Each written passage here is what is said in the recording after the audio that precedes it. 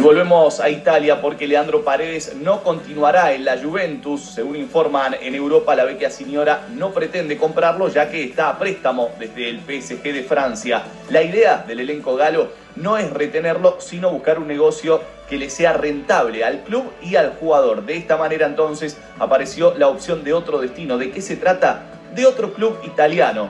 Hablamos del Inter de Milán, por lo que podría llegar a ser compañero de Lautaro Martínez y del Tucu Correa. Lo cierto es que en el viejo continente aseguran que PSG le propuso un intercambio de jugadores al Inter. Paredes por Nicolo Varela, un, italiano también centrocampista. Lo cierto es que ante este elevado precio que piden los Nerazzurri, el PSG no quiere pagar una locura, por lo que decidió proponer un intercambio ofreciendo justamente al argentino más algunos millones por los servicios del internacional italiano.